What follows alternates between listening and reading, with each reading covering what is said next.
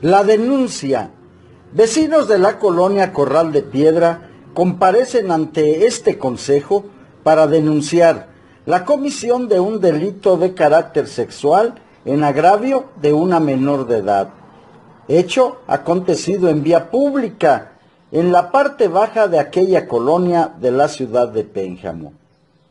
Asimismo, se duelen de que también en dicha zona las instalaciones del Parque Deportivo Manuel Gómez Morín están dañadas en varias de sus partes y que solicitan más vigilancia y que de igual modo la calle del Deportivo requiere de atención y alumbrado público. Se integra una comisión investigadora y se requiere informe de estos hechos a la brevedad.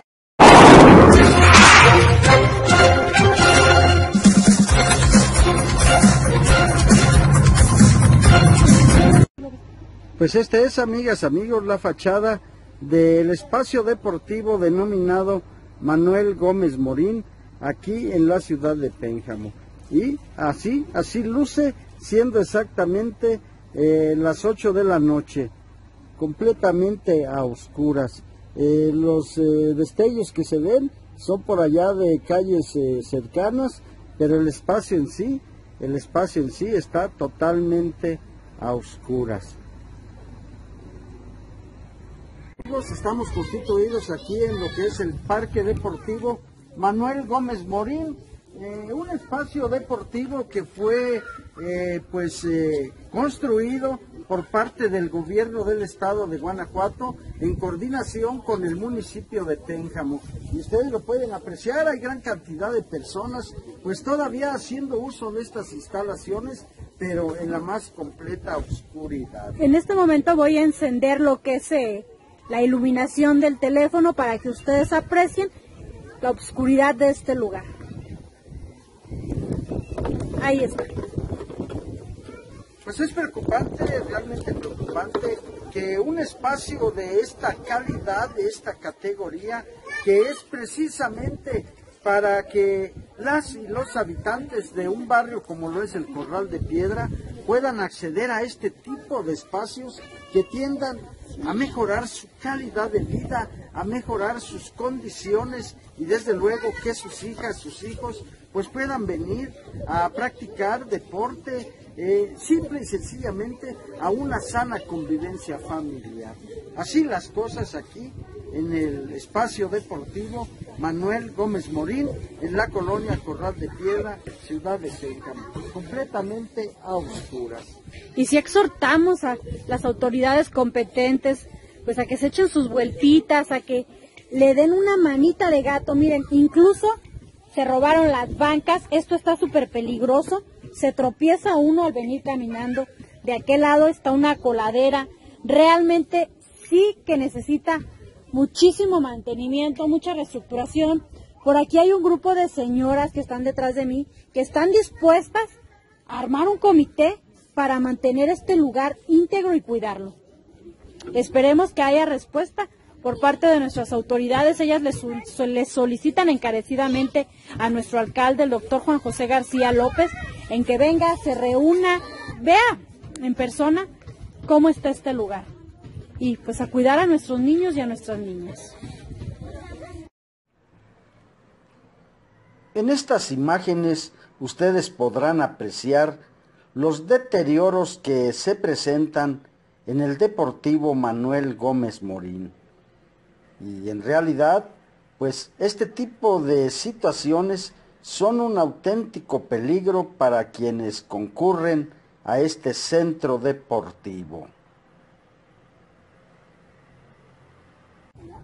Que a la, que a la niña, que la niña vino aquí a la es que la niña vende paletas y traía a su hermanito y que se la llevó el señor para abajo, para allá y que este la amarró al niñito de un árbol y le metió una piedra a la niña para que yo no gritara, yo no sé.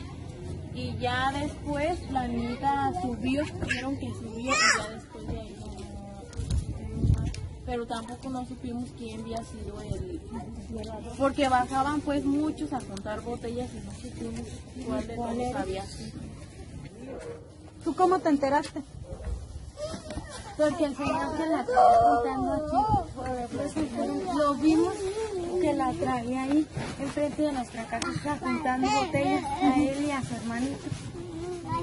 Y ya después yo de ratito fui a la casa de, de una amiga mía que ella este, está, le dejaron encargadas a sus hermanitas.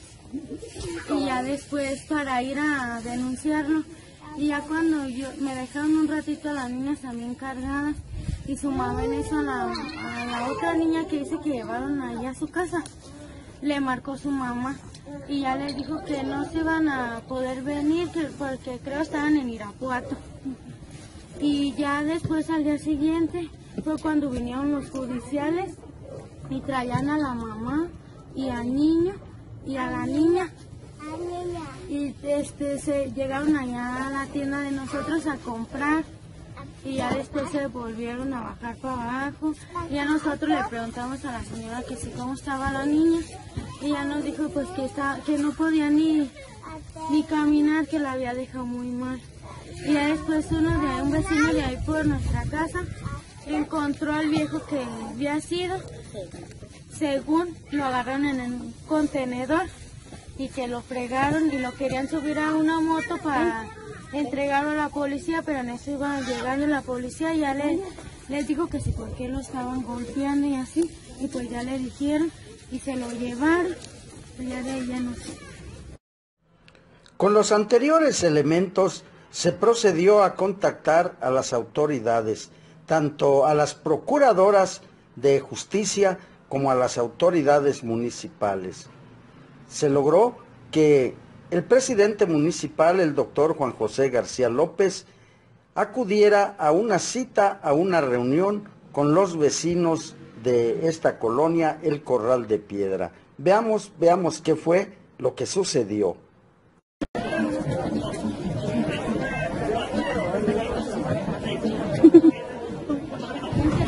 están encerrados y aquí al aire libre vienen un rato y se distraen. Entonces sí necesitamos ahorita mucha ayuda para esto.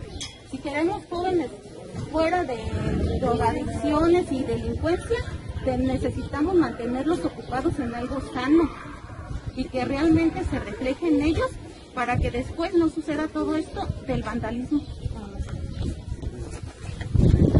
Bueno, siempre hemos pedido apoyo, pero creo que no nos hemos explicado pues, de la manera más social, no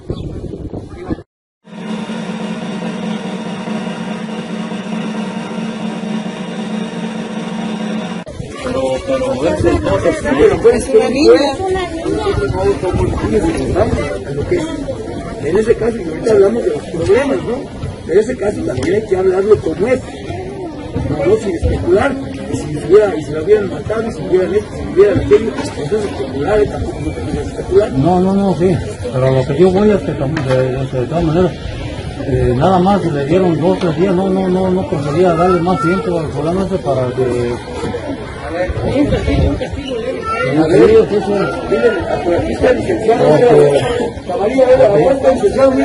yo, pienso que cualquiera lo, A ver, yo no soy licenciado, licenciado, señor lo liberaron más que nada. ¿Qué, ¿Qué es lo que sucede? ¿Qué es la. No hubo, no hubo cúpula, no hubo... sí, no hubo este... pu- este La- flagrancia es- pues...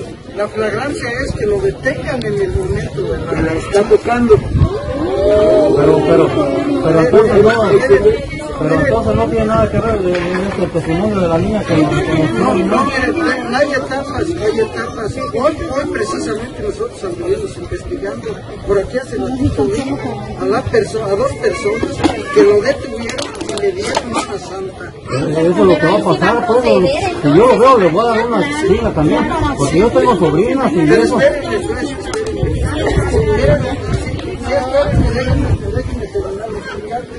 Interviene por preventiva y lo detienen, se lo llevan, pero de acuerdo a la ley polipreventiva no puede tenerlo privado de la libertad porque no lo agarraron. Pues, ¿Cuándo van a agarrar a la persona en así. ¿Qué fue lo que sucedió después? Interviene policía ministerial Y vienen ellos, anduvieron investigando, anduvieron checando. El asunto ahorita está en policía ministerial. Carne, mire, policía municipal al detener a una persona lo deja en, en los separos, que los separos el máximo de tiempo son 36 horas por ley, pero se le informa a la policía ministerial. Si policía ministerial en esas 36 horas no logra una orden de aprehensión, policía municipal no lo puede mantener más tiempo porque cometeríamos nosotros como policía un abuso de autoridad en contra de esa persona, así sea un delincuente. Nosotros no somos, como policías, no somos quien juzga, juzga un juez o un MP. Entonces la policía municipal sí lo tiene ahí en los separos como forma preventiva, pero si el Ministerio Público no lo atrae, no ordena que se meta a prisión, policía municipal no lo puede tener ahí más tiempo. Ese tema, como bien dice el señor Camarillo, queda en manos del- de la policía ministerial del Estado, no de la policía municipal. Bueno, Ese es el tema. bueno, ok,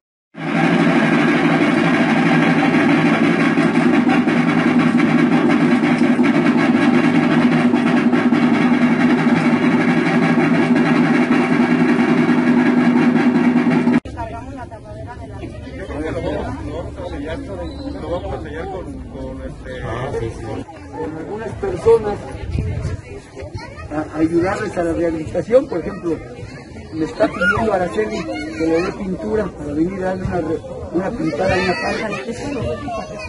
Pero, espérenme, pero también Araceli invita a parte de las mujeres de ustedes que si se suman, si se suman con el grupo de mujeres que van a venir, Ya tenemos un grupo de mujeres que vamos a venir, vamos a venir vamos a venir a lavar, vamos a venir a, recuperar parte de esto, porque enseguida el Instituto de la Mujer quiere trabajar con ustedes.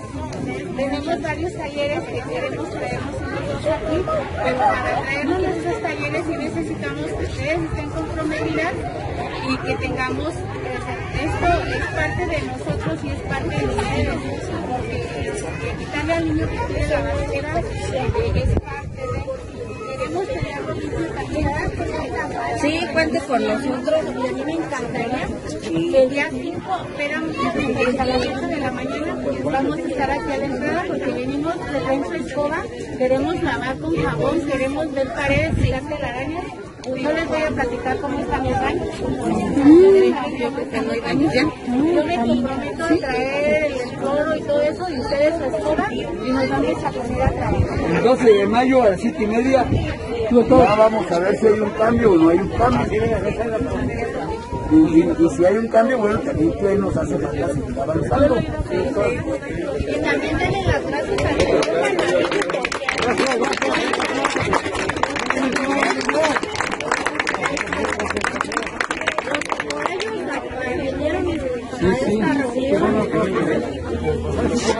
Que el día 12 nos volvemos a reunir para ver cómo hemos avanzado en los compromisos a las 7 y media de la tarde. Nos vemos.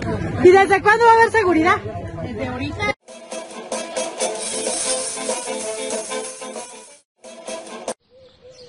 Y pues los primeros compromisos se están cumpliendo. De entrada, amigas, amigos, déjenme comentarles, ya el espacio deportivo Manuel Gómez Morín, pues ha sido totalmente eh, pintado, ya luce otro aspecto, eh, mucho, muy diferente a el día en que pues las autoridades municipales encabezadas por el doctor Juan José García López estuvieron aquí en este espacio deportivo eh, pues a solicitud del Consejo Ciudadano Penjamense y desde luego eh, de los vecinos de la colonia El Corral de Piedra. Con mucho gusto, con mucho agrado observamos que hay vigilancia policiaca, tal y como el director de Seguridad Pública Municipal, el capitán Rafael Beltrán, se comprometió, pues eh, la vigilancia ha estado permanente aquí en el Gómez Morín, eh, pues desde el día, desde el día en que se llevó a cabo eh, la primera, la primera visita con los vecinos.